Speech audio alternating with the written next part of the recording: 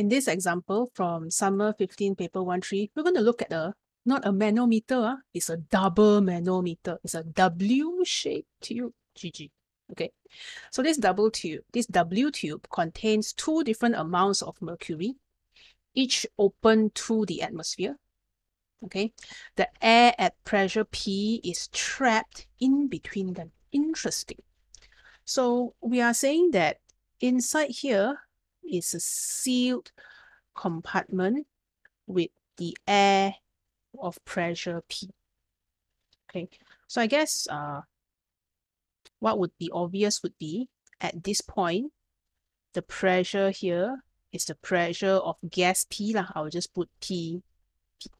Okay, pressure of gas P. Just like the pressure pressing down here, the pressure pressing down here is P, P due to gas P.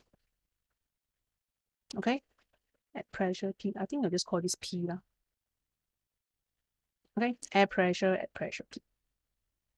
The other two ends is open to our good old atmosphere. So here, this point here will be atmospheric pressure. And this point here will be atmospheric pressure. Okay. The diagram shows two vertical distances x and y. So we have x here and we have y here. Noted? Atmospheric pressure is equal to the pressure that would be exerted by a column of mercury of 76 mm. So our atmospheric pressure, right, is equal to 76 mm of a column of mercury. You can treat or this atmospheric pressure, this 760 mm mercury. All right. Of course, if we want to convert to Pascal, we can H rho G, but I don't think we need to because the question is asking us which values of X, Y, and P are possible. Okay. And all the values are still in millimeter mercury. So we're going to stick to that unit. All right, let's see. Don't panic first. You see something you never see before. Chill, chill, take a breath. Okay, so when you see a question like this, always ask yourself, what was the working principle? What was the main idea that we had? There will be same height, same pressure. That's right, you know, big brain person, you.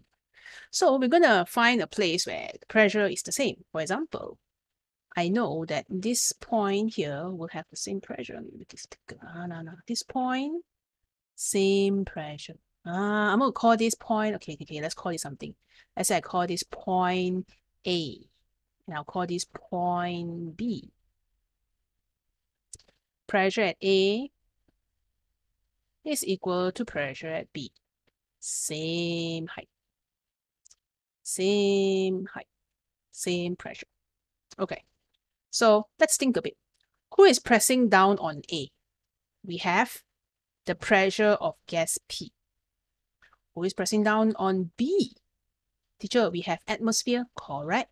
Because it's open end, huh? Is it only atmosphere? No, no, no, my friends. You see this extra little bit, little bit of a mercury peeking out here, this part. Okay, what color should I use? Can I use green? This extra here? Ah.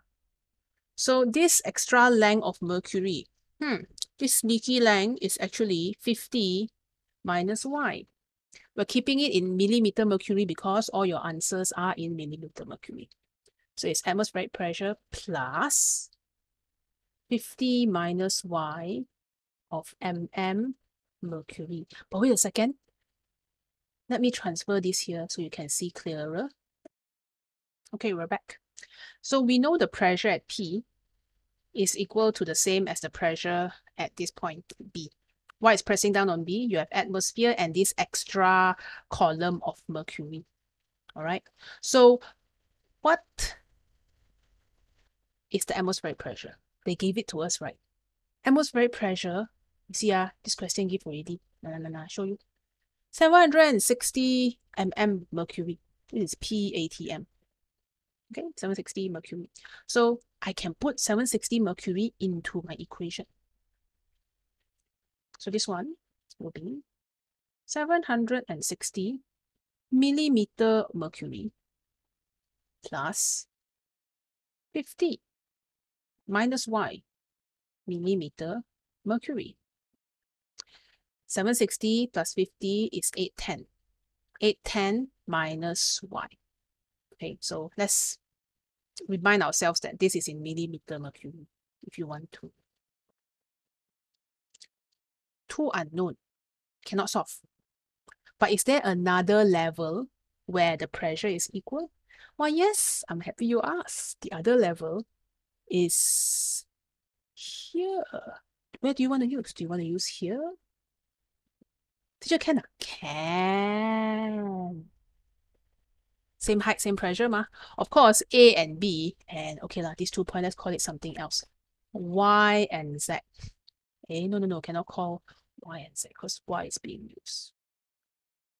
What alphabet should I use? I have R and S lah. Point R and point S, okay? So at point R and point S, the pressure is the same because, again, same height. So the pressure at R will be equal to the pressure at S. So look at S. What is pressing down at point S?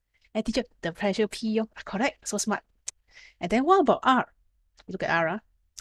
R is at the open arm of your manometer. Look up. There's atmosphere.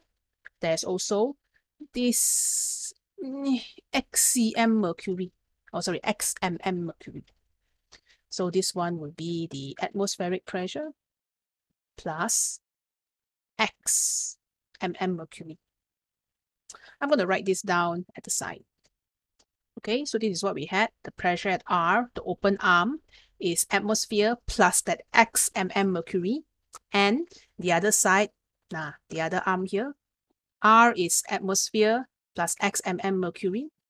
And then S here is only the pressure of P. Okay, of course, we already have the atmospheric pressure. It is 760 mm mercury plus x. I'm just going to put 760 plus x. Lah. mm mercury is equal to P. Sure, we got two equations. Can equate them. Ah. Because you see, ah, the answers, okay, let me pull up the answers for you to look at. If I look at these answers, right, they're all like some various combination that I may need to test. So I'm going to crop this first. Mm -hmm. And then I'll place it beside and see if we can solve the equation by using the choices that's given to us.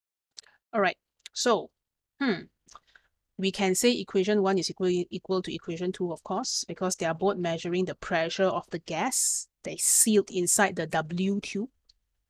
So I will say 810 minus y is equal to 760 plus x. They are both in mm mercury, lah, so no need the unit. Lah. They are the same unit anyway. Right? So I move this around. I have x plus y on one side. X plus y is equal to 810 minus 760. So x plus y is equal to 50. Which x and y is not 50 can throw away. Ah, throw away, 不要, don't want, tak. So this 20, 20, don't want. 30, 30, don't want. These two are wrong. Now you are left with 20, 30 and 30, 20. Now, before you crack your head and try to form a third simultaneous equation by using, nah, teacher, I use the other length, I use this length, I use this length. No need, no need. Objective. So we can test the answers, right? So let's test, see your luck, oh, which one you want to test? Maybe we're going to test option B first. Okay, so we're going to test option B by substituting values of x and y and see whether we get the same value. Can I? I'm to do option B. So I'll write here. Test option B. So for option B, x is equal to 20.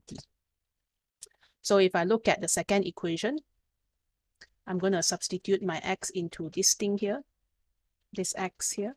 I will substitute to this x here. So P is equal to 780 mm mercury. Eh, macam correct ah? ah correct lah. So is the answer B? Yes. Teacher, I don't feel very safe. Ah. Can I test C also? Ah, okay lah, okay lah. I let you test C. Let's test C. For C, x is equal to Scroll down a bit. 30 mm.